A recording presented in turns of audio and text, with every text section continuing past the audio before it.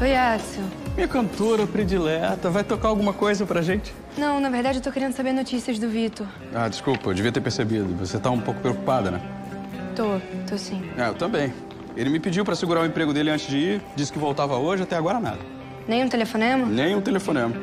Ele talvez tenha mudado de ideia, né? Pode ser que tenha ficado por lá. Bom, olha, eu vou botar meu número aqui. Se você souber de alguma coisa, você me avisa, tá? Por favor. Pode deixar. Valeu, Axel. Tchau, tchau.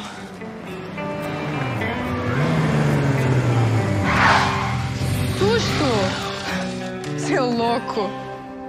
Risco zero. Foi só pra chegar em grande estilo. E aí, sentiu saudade de mim?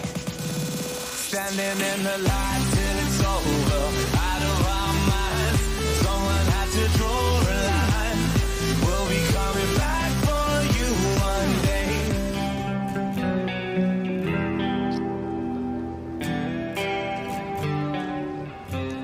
Também tava com saudade.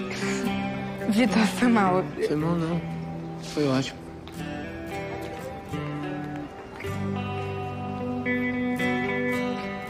Olha, eu O que foi? não sei, cara. Eu, eu agi completamente por impulso. Tudo bem. Pode ser assim sempre. Hum, espera. Eu tava preocupada com você. Você sumiu. Parou de responder minhas mensagens, não mandou notícia. Ah, é que eu não sou muito bom nessa história de comunicação a longa distância, sabe? Mas agora eu tô aqui. Vamos aproveitar?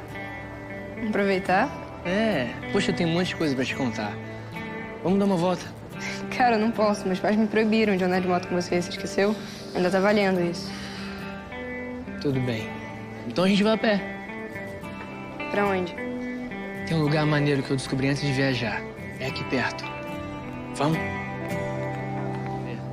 Mas e aí? Como é que foi Brasília? E o inquérito?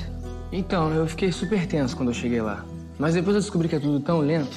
E o doutor Olavo disse que essa investigação ainda vai durar meses. Hum, meses nessa certeza? Pois é. Bem, no início eu fiquei mal, mas depois eu descobri que eu preciso segurar a onda, pensar em coisas boas. E você, como foi lá de férias? Ah, tudo certo. Nada muito emocionante. Fui visitar minha avó no sul. Ela acabou voltando com a gente pra cá. E você pensou em mim quando tava lá, né? Ah, Vitor, sei lá. eu- Eu pensei. Foi uma das coisas que me segurou. Mesmo que a distância seja grande e a saudade não seja pequena. Não gostou? Gostei. Muito. É sobre a gente. Eu fiz pra você. É, eu percebi. Vitor tá lindo. Mas Lia, na boa. Por que a gente não assume logo isso que tá sentindo um pelo outro? porque. Eu não sei, Vitor. A gente tá indo rápido demais. E daí? E daí que a gente tá em tempos diferentes. Entende? Lia, confia em mim. Eu não vou te magoar. Vitor. Eu prometo. Olha, não é assim. A gente não magoa as pessoas porque quer. Você não pode me prometer uma coisa que talvez você não consiga cumprir. Olha, Lia, quando a gente gosta mesmo de alguém, a gente consegue tudo. Você não precisa ficar com medo. Não é medo. Namora comigo, então. Quer ser minha namorada? Eu tô amarradão em você. Vitor, eu, eu nem sei o que dizer. Que tal, sim?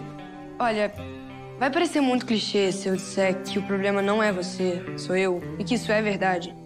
Olha, eu prefiro que você seja sincera. Então é você.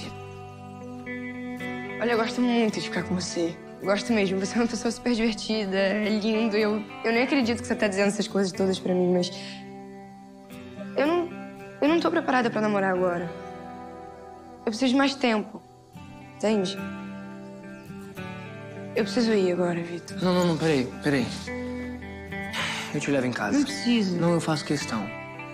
Olha, eu juro que eu não vou mais forçar a barra, tá? Vamos dar tempo ao tempo, devagar. Tá bom assim?